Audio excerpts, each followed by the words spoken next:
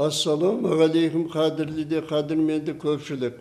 Біз бүгін тәрбие түбі тал бесік деген хабарды бастағалы отырмыз. Тәрбиенің түрлері көп. Атап айтсақ тіл тәрбиесі ана тәрбиесі мектеп тәрбиесі балабақша тәрбиесі ары қарай созылып кете береді. Осы тәрбие түбі тал бесік хабарымызға алғашқы қонағы қазақ түрік университетінің өнер факультетінің қызметкерлері қазақ ісіне еңбегі сіңген әртіс қазақстан халық әртісі қажыбек бекбосын ініміз келіп отыр. Және ол кісінің еркіген соны құлжадан қытайдан келіп оқып жатқан бірінші курс студенті сембәлі ұлбосын қарындасымыз келіп отыр. Қажеке ендігі сұрақ сіздер тәрбие жөнінде жүрсіздер өнер тәрбиесінде сол өнер тәрбиесі туралы сөзді өзіңізге берсек. Тәрбие дегенде өзіңіз жаңа айтып кеттіңіз тәрбиенің әр жолы бар. Яғни өмірдің бәрі тәрбие өмірдің бәрі талым. Анадан туғаннан бастап бірінші анаңыздың әлдиінде отырып тәрбие аласыз. Одан кейін әлгі бесік тәрбиесі оны қазақ айтады ғой алдымен тәрбиеде бесігін түзе деп яғни сонау құндақ жатқан баладан бастап тәрбие алынады. Ал оның бер жағындағы айтатын бізге қатыстысы бұл өнер тәрбиесі. Өнер тәрбиесі деген мынау біз сахнада бәленбай жыл сахнада 35 жыл сахнада жүрдік. Сол сахнадан әніміз арқылы үлкені бар кішісі бар бүттім тыңлаушыны тәрбиелейміз.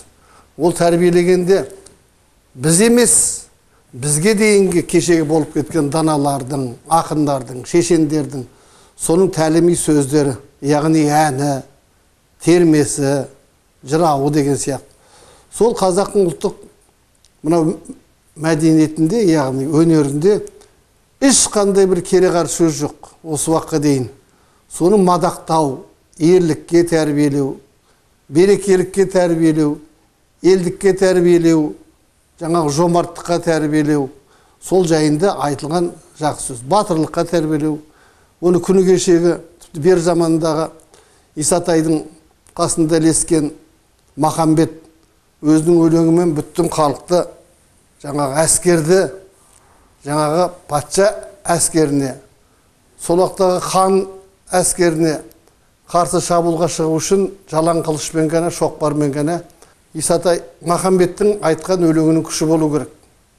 Халықтың құлағына жетіп көкірегіне құйылып сол шындық өмірдегі шындықты жеткізген махамбеттің сөзі үшін барлық халық исатайдың жаңағы соңына еріп көтерілісті. Яғни ол сөз құдіреті сөздің күштілігі.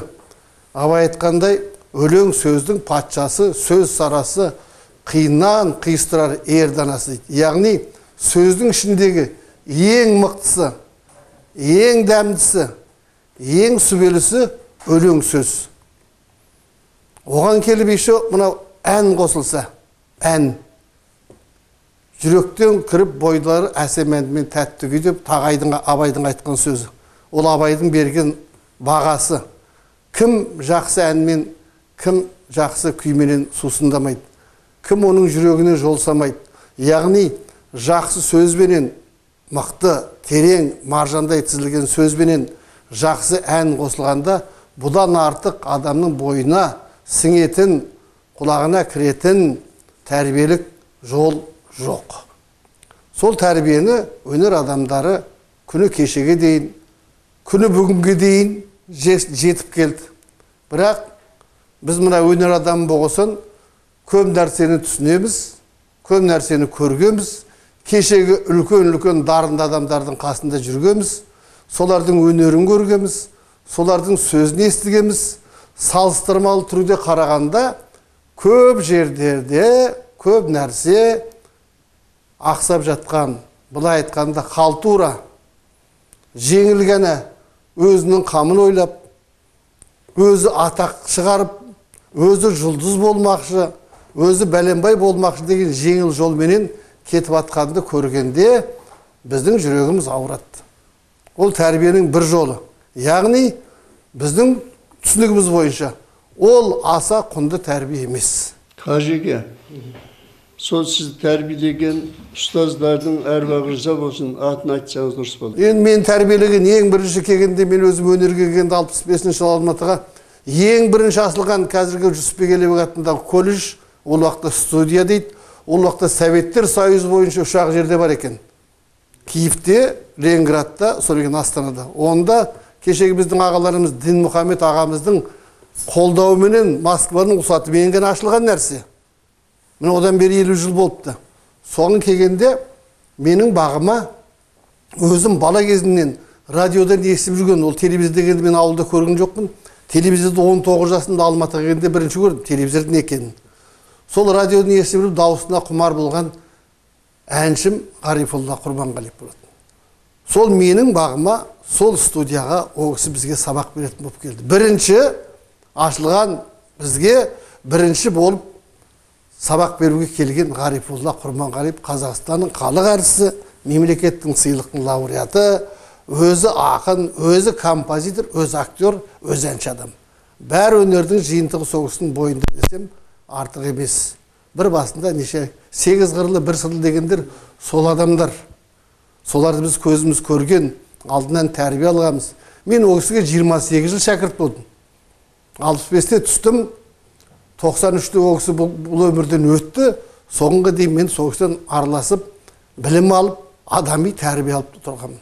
Одан кейінгі екінші тәрбиешім мен қазақ концертке жұмыс орналастым алматыда. Сол қазақ концертте жұмыс істеген үлкен ескі көздер жүсіпбек елебеков рәбиға есімжанова жамал омарова жаңағы гүлнафис баязитова ә, дәулет мықтыбаев деген үлкен үлкен атақты. Одан бер жағында мағайба хамзин күйші әжидол есқалиев олар тіпті біз барғанда жастың қатарына жатады екен. Бірақ олар бізге сол өздерінің тәлім тәрбиесін өйткені қалай тәлім тәрбие? Біз үйде болғанымыздан түзде болғанымыз көп болды. Қазақ концерттің жұмысы жылына сегіз ай сыртта жүреміз. Өкіметтің концерттік планы бар ақшалай планы бар. Сонда жылына сегіз ай сыртта жүргенде сол бір мәшиненің ішінде бір түскен үйде бір жатқан гостиницада сол кісілердің алдында біз бала болып іні болып шауып жүрдік. Сол уақытта мен ең бірінші жүсекеңге әрбеден кейін келіп концертіме қайта қосылғанда мен 24 жастағы жігітпін. Мен анау үйдегі түскенде анау дастархан шетінде шай құйып отырған апайдың қарсысында тиеді маған орын. Өйткені жасыма қарай неме қарай. Солардың барлық тәрбиесі. Солар менің бәрі тәрбиешім. Солардың бәрі менің ұстазым. Өмірде де өнерде де ұстаздарым сол кісілер. Ұстазы жақсының ұстамы жақсы дейді. Байқап отырмыз бүкіл халық білетін әншілерді өнер адамдарын айтып отырсыз қазіргі кезде сіз де ұстаз болып шәкірттер тәрбиелеп жатсыз сол шәкірттеріңіз туралы бір екі ауыз сөз айтсаңыз. Шәкірт дегенде шәкірт әртүрлі жолмен келеді. Ол бір жылда екі жылда бес жылда бәлем бола қоятындай оның мүмкіншілігі болмайды. Өнер деген өз инемен құдық қазғандай мысалы мен оған соған бір мысал ретінде айтайын. Мен ең бірінші атағым қазақстан республикасының еңбек сіңірген әртісі. Тоқсан екінші жылы қырық алты жасымда яғни 26 жыл жұмыс істегенде алдым. Дұрыс па? Дұрыс. Өйткені еңбегім шын сіңді. Мен жаңағындай үлкен адамдардан былай айтқанда тәлім алдым. Адами тәлім алдым өнердің тәлімін алдым өнердің тәлімі ол өз алдында бір бөлек нәрсе былай айтқанша қысқа айтқанда мектеп дейді ғой оның ішінде қазақтың ұлттық өнерінің талабы зор ізденісі көп оны титтай бұрып кетсең бір бүйірді емес цистерна құятын нефть емес оны дүниені мен білем еңбек ететін оны тыңлай білетін жақсы тыңлаушы ғана біледі. Сол зерделейді иә зерделейтін сол сол сияқтанғанда шәкірттер құдайға шүкір бар өз орындарын тауып мен алдым осы түркістанға келіп биыл он екінші жылға кетіп барады. Үш төрт жаңағы выпускі шығардым. Өз орындарында қызметін істеп осы түркістанның шымкенттің астананың алматының жерлерінде біреу ұстаз болып менің жолым жалғастырып біреу әнші болып менің кешегі жолым жалғастырып өз қызметтерін атқарып жатыр. Бүгінгі күнде де оқып жатқан студенттерім бар. Міне соның бірі мына қызымды алып келдім. Өзі бар жоқ оқыған екі ағай мінекей. Сентябрь октябрь ғой. Екі ағай оқып жатыр. Алла жазса қазір нәтижесін мына халыққа көрсетіп көреміз. Халық сыншы дейді. Ә, халықтан асқан сыншы жоқ. Сондықтан алдын ала бәлен түген деп айту қиын. Өнердің өз жолы қылт сылт еткен нәрсе өзі. Ол теңдеп қоя беретін нәрсе емес. Бір күн дайындалған әнші жақсы бос қоя берген әнші жаман. Өйткені оның мына домбыраның шегі сияқты бұрауын ұстап тұрмасаң босаған сағал жерде өнер, өнер қирайды деген сөз қирайды төмен түсіп кетеді. Яғни домбыраның бұрауындай жараған аттай кермеде байлаулы тұруың керек өмір бойы. Мен солай деп айтқым келеді. Ал енді өнерге кезек берсек ал өнерге кезек берсе жаңа айттыңыз мінекей мына қызыма. Ұлбосын қызым мінекей қазір өзінің бір ойындағы таңламалы. Тәрбие жайында дейді. Мынау бірінші еркеғали ағамызды бәрі біледі. Советтер одағының халық әртісі кешегі жазу ә, композиторлар одағының мүше председателі болған консерваторияның ректоры болған одан кейін депутат болған в общем үлкен қызметте болған. Бірақ үлкен композитор сол кісінің арман арман деген әні бар. Бұл жерде міне қараңыз қарап отырсаңыз еңбекке баулиды.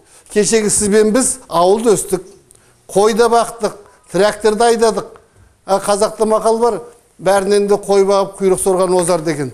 Сол сияқтанғандай бұл жерде кешегі тәлім тәрбие еңбекке баулыған жұмыс бар. Сол жаңағы арғымақ арман деген әнді еркеғали аға рахмадиевтің әні сөзінің кім екенін кімдікі екенін анық білмейміз қазір шын айтқанда екеуміз де сол әнді қызымыз орындап берсін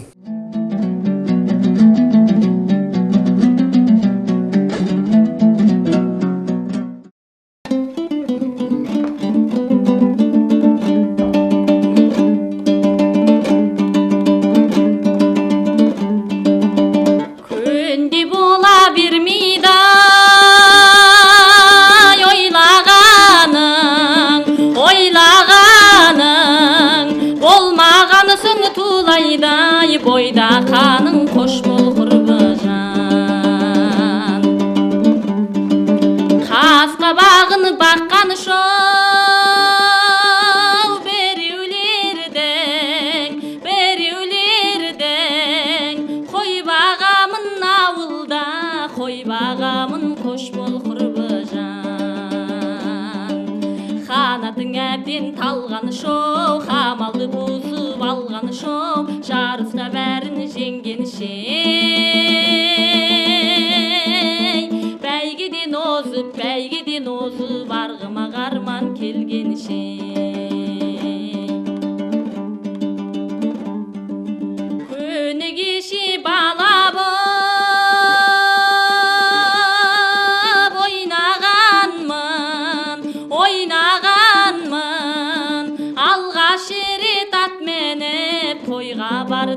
қош бол құрбыжан мал жинамай бал жинап махаббаттан махаббаттан кең далада кеңірек ойланамын қош бол құрбыжан қанатың әбден талғаны шоу қамалды бұзып 생긴 시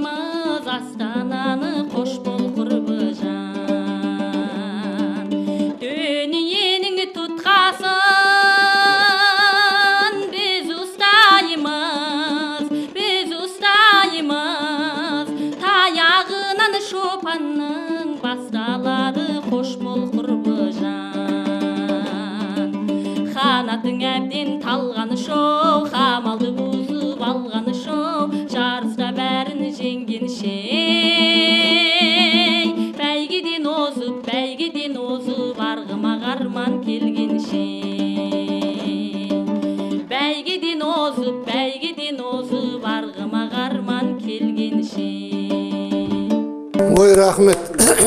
Міне қарап отырсыз тыңдап отырсыңыз. Осы әннен артық қандай тәрбиеші керек?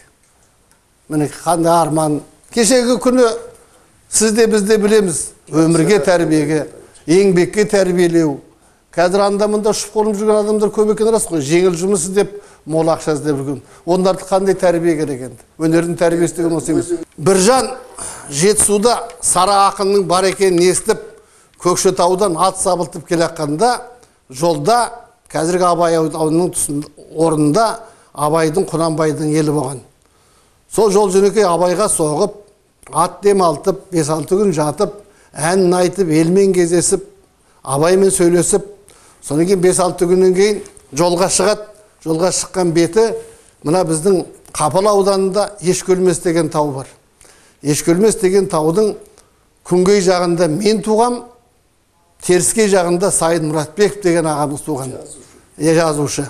Сол соның түбінде абай ауылы бар. Абай ауылына қарама қарсы шыққанда таудың бөктерінде тоғызқұмалақ деген жер бар.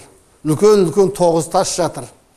Сол тоғызқұмалақтың үстінде үй тігіліп біржан менен сараның айтысы сол жерде өткен. Сонда жаңағы абайдың ауылынан шығып бара жатқанда жолаушыны шығарып салу керек ол уақытта. Қозы көш жер дейді күндік жер дейді. Сонда жолда матай деген жаңағы біздің аталарымыз рудың қыстауы бар. Сол жерде матай станциясы тұр қазір. Сол жерде жаңағы жол жөнекей қыз келіншегі бар жастары бар. Біржан шығарса келе абайдың баласы ақылбайға ән айту кезегі тиеді сонда ат үстінде келе жатып ақылбайдың сол моментте айтқан әні ақылбайдың әні дейді тарихи ән. Диапазонда жеті батыр ең құдай соны айтып берейін.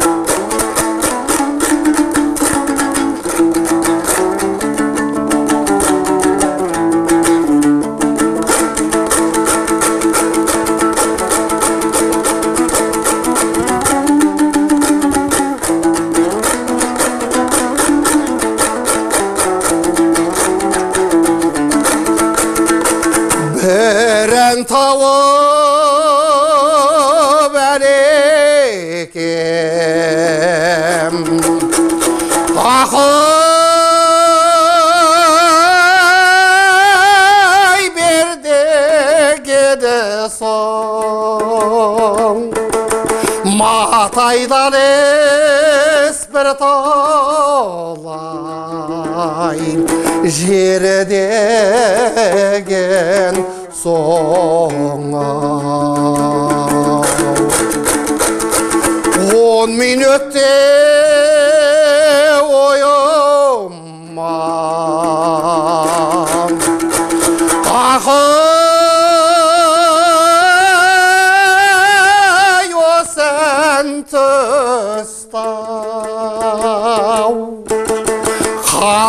Қапаш құпаш қолымдай сермеген соңай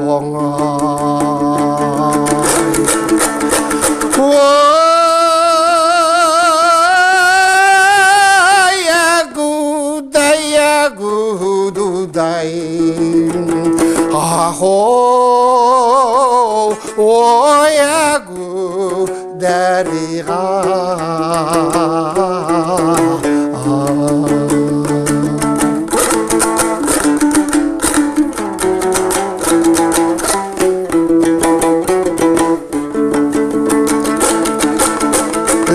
Chequidão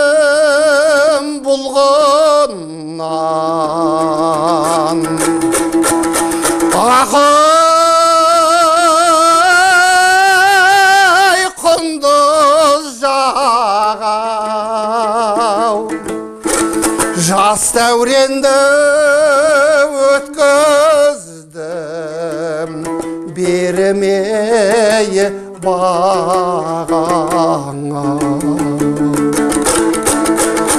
ақыл жан деп тұрушы. Ақай талай қызыдар сұмдық шықтау дейтұғын